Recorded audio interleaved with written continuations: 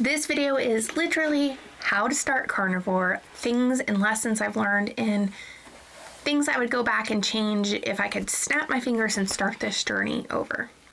The first part of the video will go over how to start and everything that is in that. The second part of the video is going to go over what to expect once you start.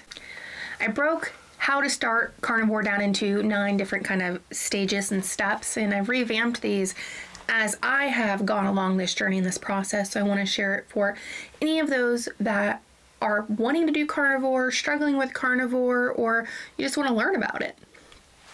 The first one is focusing on one step at a time. How do you eat a mammoth? One bite at a time. And I don't mean how do you eat an elephant. Mammoths are bigger, and let's be honest, struggling, if you've struggled with binge eating, weight loss, or just getting healthy, it's a really big thing to deal with. It's dealing with the physiological and the psychological components of it. So, one step at a time. How do you win a race? Literally one step. How did I lose 121 pounds? By losing one pound 121 times. Celebrate the small things. Don't focus on the end goal because then it's just so big. Like, literally, I used to just get so stuck because I'm literally like, how do I eat a mammoth? This thing is so huge. I don't even know where to start. I need to lose 210 pounds. How do I even start that? One bite at a time, one step at a time. Slow yourself down. Focus on today, maybe tomorrow, but no further than that. Number two is what to eat and when. There is a sliding scale from lion diet down to dirty carnivore when we're just talking about carnivore itself. Lion diet is very good for people wanting to do an elimination diet that are wanting to kind of isolate if they have rheumatic issues going on or heck, some other things going on. Lion diet consists of eating ruminant meat only, salt, and water. It's very strict, but it has its purpose. All the way down to dirty carnivore. I do dirty carnivore. I eat all types of meat, including seafood, fish, chicken, beef, you name it. If it's meat, I eat it. If it's a animal product, I eat it. Eggs, those kinds of things. I also use spices. Now, for the most part, we use garlic powder and onion powder with salt. 98% of the time now, but you can do other things as long as you tolerate them. I also do high quality, high fat dairy. Heavy cream, hard cheeses are the best. Okay, milk, not a great option because there's a lot of sugar and carbohydrates in that. You decide where you fall along the spectrum. Maybe you have a dairy allergy, don't do dairy. Maybe dairy slows your weight loss down, don't do it. Spices bother you, throw them out. This is a very individualized choice of what you do and what works for you. Okay, along with ketovore, which is kind of a step over. Ketovore allows some dark green or low carb vegetables that are preferably not inflammatory, a few times a week, with the rest majority being meat. If you are a vegetable lover and you feel fine eating them, you don't have any issues with oxalates, which cause inflammation for people like me with rheumatic issues, do keto ketovore. You have to decide what's going to work for you. Okay, all the way to keto if that's your thing. I personally don't do keto. It gives me too much room to move around and fudge things, and I found that I slowly would make like a keto pizza and then this and then that, and then all of a sudden I'm eating a regular pizza. For binge eating, my personal recommendation out of me experiencing it is I find carnivore works best for me because it removes all the carbs and all the sugars, it removes my triggers. I lack the ability to moderate, so abstinence has worked amazingly well for me. Not that I've been perfect, but it has worked immensely well. For ketovore and carnivore, I want to reiterate fruit is a no no. Now, let's say you're super healthy metabolically, you've never had diabetes and these kinds of things, and you want to eat fruit here and there. You do you, no judgment from me. I know there are some people who are carnivore that have fruit here and there, and if that works for you, that's okay. I was a type 2 diabetic. I had a lot of health issues going on. To improve my insulin resistance, no sugar. And there's quite a bit of sugar in fruit in fructose form, and it's inflammatory. So, again, these are choices you have to make, and what are you willing to give up to get on the journey that you need to be on? The second part of the second part is when to eat. There is no simple answer to this. In the beginning, what I strongly suggest you do is focus on eating to not let yourself get hungry. It's very hard. It's a physiological, I want to eat carbs in the beginning when you're going from a standard American diet to a low to no carb diet. In the beginning, for the first few weeks, I actually didn't worry about how frequently I was eating, how much I was eating. The goal was getting into ketosis to get fat adapted, period. That is what I suggest in the beginning. As you get fat adapted, you will naturally notice your hunger levels go down and down. So maybe you were eating three meals a day, and then you eat two meals a day and a snack, and now maybe sometime you do one meal a day. I did one meal a day for months. However, I found over time, two meals a day is perfect for me. I end up eating less volume of food overall, eating twice a day. That doesn't work for some people. Some need three, some need one. It just varies on what you need. And honestly, I think trial and error. The big thing is focus on learning after you get into ketosis, learning what true hunger feels like. That is vital. Don't eat until you're so stuffed that you're like, oh, I'm so full as you get into ketosis because then you're eating too much. We only need to eat what our body needs, and it gives us signals. We just have to be willing to listen to them. And honestly, because I spent most of my life binge eating, I never actually truly understood what that felt like. Like I just completely overridden and ignored those signals of I stop eating, you really don't need anymore. What I learned is, oh, my stomach is like bloated. Oh, I guess I ate too much. That is what I'd gotten used to. Okay. Vital to work on this. A big thing people ask all the time is should I slowly transition or should I just jump into carnivore? There is no straight answer. I had cake one day, carnivore the next. But I know my personality and I don't do well with weaning in. So you have to decide that yourself. It is less of a shock to the system if you can wean yourself down. I normally would suggest that. But at the same time, you know you better than me. So you have to decide which one works for you. The next thing is fasting. I am not a big proponent of fasting. I do intermittent fasting between meals, but long term fasts in the beginning, I think, are very dangerous for people who are binge eaters. It makes you rely solely on willpower, and willpower always fails. The cravings are crazy. If you can do it, kudos, but it is not something I recommend in the beginning is to start with fasting. And last, because I know somebody's going to ask me this, is what should your macros be? How much protein should you be eating? How much fat? I do a high fat, moderate protein, low to no carb carnivore diet. I do not track my macros. I eat what I need and I listen to my body, and this is honing in. In the beginning, I can tell you my first few weeks to few months, I was definitely eating, I think, more than I needed to because I was just trying to get fat adapted. But I aim for at least 50% of my food to be fat. Ribeye is a good example. It's 50 50, 50 protein, 50% fat. If I want to do maybe 60% or 70% fat that day, I'll add some butter to the steak. I do not fret about anything like that. Number three, fully accept that this is a lifestyle, not a temporary diet. To me, that is what led to yo yo dieting my entire life. I'm gonna do X diet for X amount of months to get X amount of weight loss, and then I'll be there. But even if I got there, I went back to the way I was eating. Maybe not overnight, but slowly. And then six months down the road, it's like, oh, okay, well, I've gained everything back plus a little bit more. How did this happen? Because I kept treating it as a temporary thing. But this is a lifestyle. I view carnivore as a lifestyle. It doesn't mean I'm going to be perfect. I have not. I've had off carnivore meals along my one year journey. And I can be very honest and say I will continue throughout my life. Why? How do I know this? Because I'm not perfect and I don't expect to be. But that does mean my aim is 98% of my diet. I want to be carnivore. 100% would be great, but I will accept 90 to 98% without a blink of an eye. Something also I want to mention with this is when we fully accept that this is a lifestyle, those cravings in the beginning of I don't want X, I want Y, they start to dissipate because it doesn't actually matter what I want. Eating what I want got me to 360 pounds. I need to do what I need to do, not what I want to do. That was a huge like paradigm shift for me, realizing I had to let go of what I wanted and just do what I needed. Not that I can't enjoy what I'm eating, but it definitely lifted this veil of okay, I've been eating most of my life by based on what I wanted, not what I've needed. Number four, this is a big one. Set yourself up for success. Got a long list of tips that I have used and have discovered along this journey. The first one is get the food out of your house. If you're going to do carnivore, remove the non carnivore food.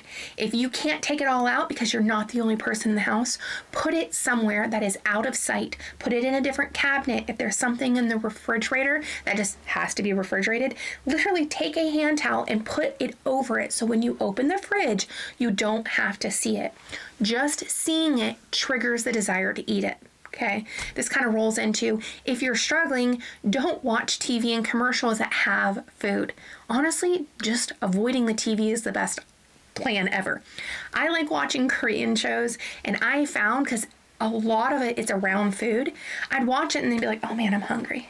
I don't even like white rice that much, but it's like, oh, that white rice looks delicious. And I found it was just triggering me want to eat because I saw it. The next big one is Reading Atomic Habits by James Clear. This book, I think every single person should read. It teaches us how to get where we want to get by changing the small things, by changing our habits and setting up systems in place to get us there. Goals are great, but what it actually matters is the in between. The system is how we get from here to here. The goal is down here, but it really matters of how we get from one place to another. And that's what Atomic Habit teaches. I am doing a series going over each chapter if you're not a big reader that you can go and watch and I'll do a new chapter every single week. Drink some kind of electrolyte mix. I use something like LMNT.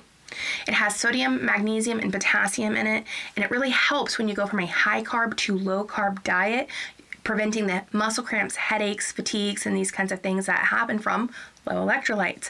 Also, it doesn't have any junk in it, and that's probably my favorite part. Right now, LMNT's offering an 8 pack sample pack free with any purchase. You just need to go to drinklmnt.com forward slash carnivorous me. That's D R I N K L M N T dot com forward slash carnivorous me. Remember to bring things in to help with cravings. The electrolyte mix helps well. You can do things like bridge drinks. Literally, it's just a container of liquid you carry around and sip on all day long to try to keep your stomach somewhat full. Water, coffee, tea if you do that, electrolytes. Those are the four. Just sip on it all day long, okay? Another one I like to use is Redmond's Salt Crystal. I made this, by the way. It is wonderful. It comes, this one's red because it has a bit more minerals in it. You literally just suck on it a few times when you're feeling like you are craving something. Like, oh, I'm craving some dark chocolate. Okay, well, I'm going to suck on this a few times, drink a little bit of water, and nine out of 10 times, boom, the craving is gone. These guys are super helpful. Make it simple. Some people love cooking, and that's wonderful the more complex the recipes are in the beginning, the less likely you're going to want to eat unless you're just like that person that loves to cook. Make the most simplistic meals, make it easy, plan ahead, take your meat out and thaw it the morning, like put it in the refrigerator so by dinner time you have no other choice but to eat what you took out. Set yourself up for success. If you're going to have to go somewhere, go grocery shopping, go hang out with some friends, eat before you go. If there is going to be food somewhere, like non carnivore food, eat until you are stuffed before you leave. Normally, I don't say this, but in this situation, yes, if there's going to be sugar and you're going to be tempted, eat before you go and stuff yourself. Silly. Why? Because by the time you get there, you're so full. Even if you're like naturally like, oh, I want to eat that, you're so full, there isn't room for you to consume it. Okay. Set yourself up for success with this. I promise you, I've gone so many times places, and afterwards, I'm like, oh, we should have eaten before we went. I have learned this lesson the hard way. Don't not do it. I promise it will help. And the last big one for this section is setting up barriers. I, in the beginning, would have a small square of dark chocolate here and there when my, my cycle would come. And then I noticed I slowly started slipping and I would have it once a week, twice a week. And I'm like, oh, God, what am I going to do about this? So the barrier I put in place is if I want that dark chocolate, I have to walk or bicycle to get to the grocery store. It has stopped me every single time. Why? Because it's just a momentary craving. That's a lot of effort to go get dark chocolate. Okay? Put these barriers into place. Another good suggestion is maybe you're one of these people that stop at the grocery store or fast food on the way home. Leave your credit card at home before you go to work. If you don't have money, you can't buy it. Now, you, yes, you can still go home and go back out, but it's these extra steps that make you slow down and have to truly think do I want to do this? These are the small barriers that will stop you because binge eating, it's like an automated habit. I remember sometimes just eating stuff and it's just like, why am I doing this? It just, I don't even, it's like someone took over my body and just shoving food in my mouth. I'm not enjoying it. I'm not hungry, but it's just like I'm a robot in automation mode. Put stuff that slows you down and stops you. Scott reminded me of something else. A good reason to do this because most people would say, okay, you're doing carnivore, you can't have dark chocolate. I don't know if any of you guys have ever experienced this, but the minute I say I can't have something, it's like, oh my God, I want that. Tell me I can't have escargot, even though I think it's gross. I am gonna want it. So, versus saying I can't have it, I choose not to have it. Make it a power of choice. You choosing is different than you can't have. So, I choose not to have this. Or if that doesn't even work for you, the same thing with the chocolate and having to bicycle to get there. Make the choice, it empowers you versus forces something on you. And for those that are really struggling and want the extra support, there are plenty of people who do coaching. I myself do it. If you have the time, energy, money, or you really feel like you need it, use that. Use someone else to be your barrier for you to be accountable to. And if you don't want to spend the money, that's okay. There's a lot of groups and things. I'm doing a July challenge. It's completely free. You just need to go to the community section of my channel and it'll explain there. We even have a drawing at the end for everybody that participates and makes it to the end of the month. Okay, these things are out there. You just have to do a little bit of the footwork to find them. So find what's going to work for you. Number five, get your base blood work done, take photos, take measurements, and document your journey, even if it's just in a journal. Okay. For the blood work, I wrote it down because I always forget. These are the tests that I get done every three months A1C, CBC, which is a complete blood count, advanced cardiac IQR, that R is very important in this test. This tests your particle sizes for your lipid panel. A standard lipid panel is a calculated number. It is not actually looked at under a microscope. It's just not that great to do. A CRP, which is a C reactive protein, you want the unsensitive. This tests for overall body inflammation. Fasting insulin, this is very important whether you're a diabetic or not because you can be a type 2 diabetic and be insulin resistant. It just means you're on your way to being a diabetic. And a metabolic panel, which tests things like your liver, kidney functions, and things. Those are the tests I recommend, and they are what I do every three months or so. Six, move daily in whatever that looks like. I don't consider walking exercise. To me, exercise has been changed into I am forcing myself to get on the elliptical for 30 minutes to burn X amount of calories. Move daily, whatever that is for you. In the beginning, for me, it was getting my own water going up and down the stairs. Then it was doing the dishes. Now I do the dishes every day. Scott, lucky. he used to always do them. And then walking a few hundred feet, walking a few houses, walking a mile to now I can hike uphill whatever it is, no matter how small, if you are bedbound and all you can do is roll side to side in the bed, do that. That's actually a good core exercise. Do not diminish where you're at. I just did a video yesterday. Watch it if you need some encouragement. Celebrate the small things. Do the small things, whether it's going up and down the stairs a few extra times. I cannot stress this enough. Start with wherever you're at. Don't expect to go walking a few hundred feet with a walker to walking a mile in a month, but celebrate you from not walking at all to walking five minutes to maybe 10 minutes by the end of the month. Whatever it is, move a little bit more. Number seven, read Jordan Peterson's 12 Rules for Life. Even if you are not a Jordan Peterson fan, set all of that aside. The book is amazing for helping us understand how we got where we got. This is what yo yo dieting, you can temporarily, or at least I was, temporarily changing my diet, but I never actually spent the time to look inside and understand how I got to 360 pounds. Reading this book gave me, I tell people when in coaching when I recommend this book, it's like a gut punch and a really good hug at the same time.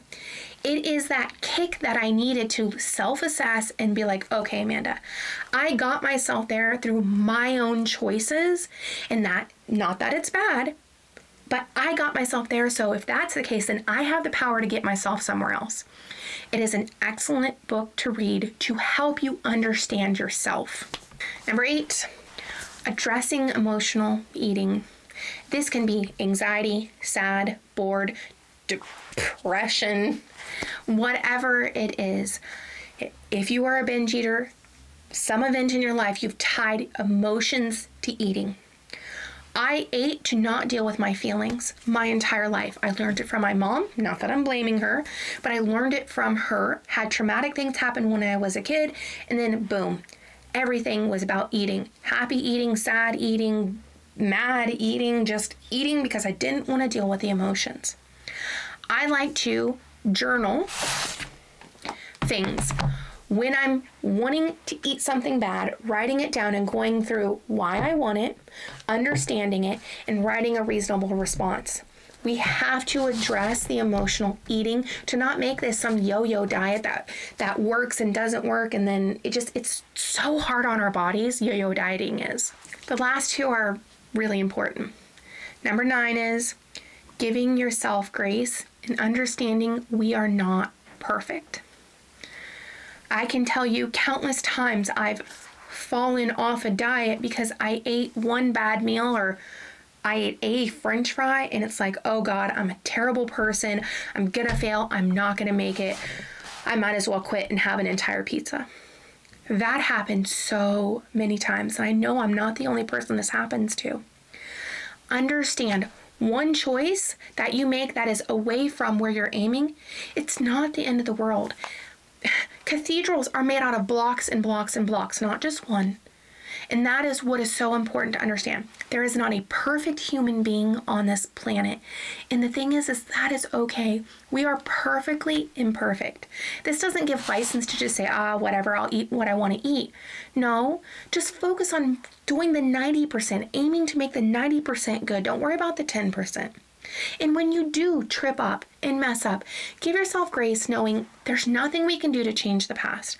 We only have the ability to make a different choice to change the future. Okay? This is a huge thing. It took me months to learn this, but I think it is the reason I'm still sitting here today is because giving myself grace for all the times that I fell down. Number 10, and this is the last one for how to do carnivore. Find your why. Your why is what will help bolster you when your initial motivation fails. Willpower is like a muscle. If you use it constantly and rely on it, it always fails. I am just absolutely my to this day my willpower is terrible. Finding your why. It needs to be soul moving, not just I want to lose weight so I'm healthier. It's too abstract. Why I do this, why I continue on this journey, I want to have a family.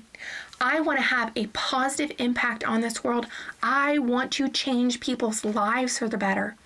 I want to reduce the amount of anguish and pain in this world as much as I can. That is my why.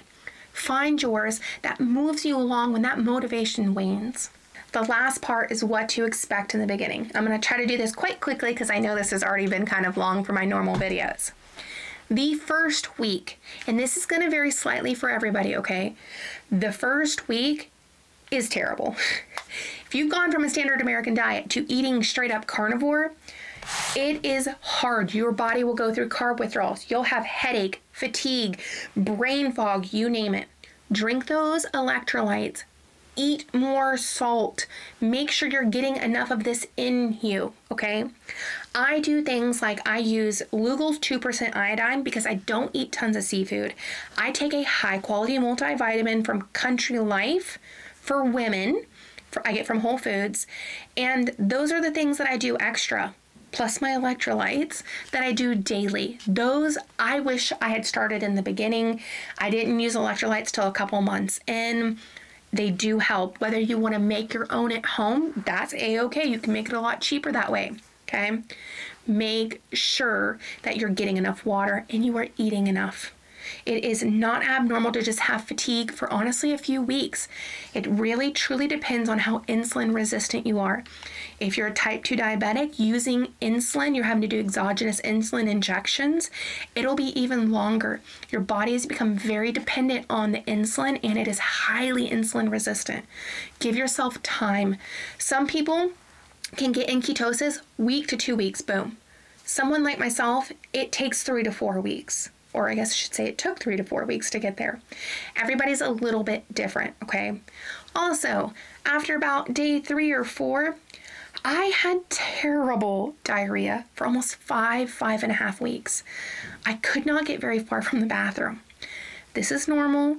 Your gut biome is used to your body feeding it carbs and things like that. The bacteria that lines our intestine, they die off because they're not getting those carbohydrates and your body flushes them out. Your body has to readjust to eating a high fat, moderate protein diet with carnivore. Okay. You'll go through periods of time that you're super irritable and you literally can't stand anyone, including yourself. All of these are carb withdrawal symptoms. Sometimes the cravings will be absolutely crazy bad. Once you get to fat burning, the cravings do start to fall off until an emotional thing happens, which if you're a binge eater, that will happen intermittently and stress triggers it, then it's a different type of craving. Yes, you probably still want sugar, but the physiological cravings means you just eat teaspoons of sugar if it's in front of you. Okay, it's eating through that. Make sure you're eating plenty of fat. Uh, there's butter bites. I have a video for that. Eat fatty meats. Add tallow to your burgers to up your fat intake. These kinds of things will help satiate you to get past these moments. The feeling bad can last, as I said, can last anywhere from a week to a month. I've had people it last five weeks and then they start to feel better. It is, I cannot stress this enough. It really truly depends on where you are at with your health, your age, how long you've been a diabetic, if you're not a diabetic. These kinds of things impact it. There is no one size that fits all with this, but do understand it, it's a transition. It really is meat aversion can happen. It happened a few times, and honestly, every once in a blue moon, I get it now. I know I'm not a big proponent, as I mentioned before, of fasting. This is the only time I would suggest a fast 12 hours, 14 hours. I made it 37 hours one time, not because I was aiming to fast, but the idea of eating meat made me nauseous. What I discovered is is if I was starving, I would eat whatever was in front of me without a complaint. So the very fact that I'm looking at the meat and being like, oh, kind of nauseated, it was my want overriding what I needed.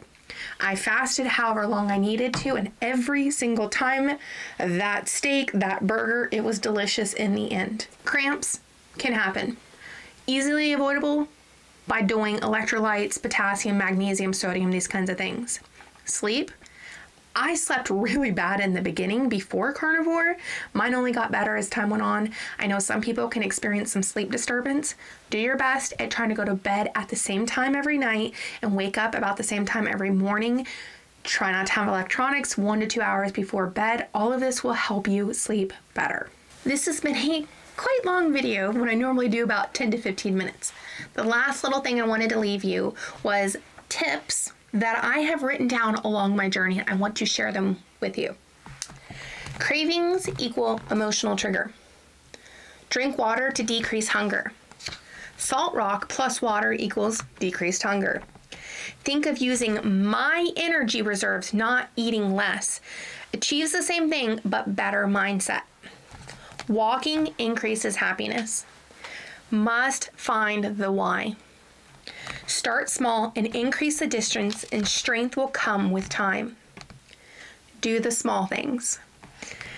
Give ourselves grace. We cannot change the past.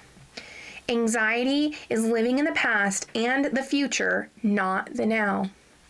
Clean your room. A disorganized space decreases our motivation. Clean the space around us, clears up the space in our mind. Writing things down brings it into being and opens that use space in the mind for other things. Keep track of non scale victories. It's the small things day to day that keep us going.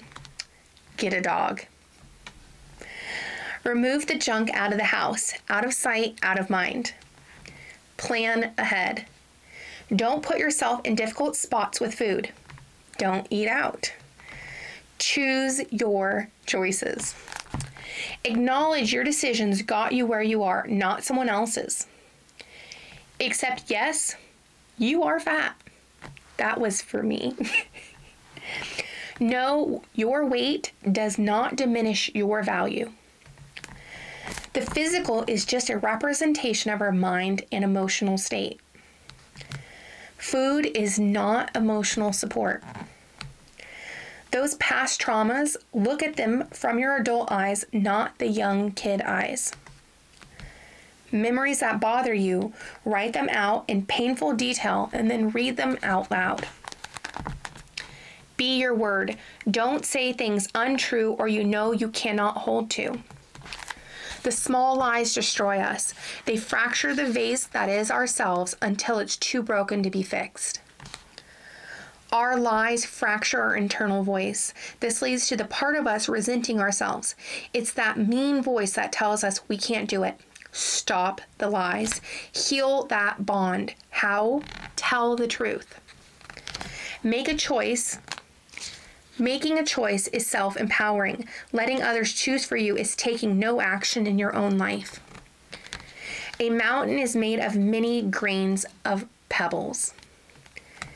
Get fat adapted before you worry about the volume of food. Worry about the 90%, not the 10% at the start stuck in a funk, do something, walk, move, bike, challenge yourself. I wrote these all throughout my journey in my non scale victory journal, by the way. These sum up my entire journey. I hope they help you in the start of yours. I appreciate every one of you so very much, and I'll talk to you soon. Bye.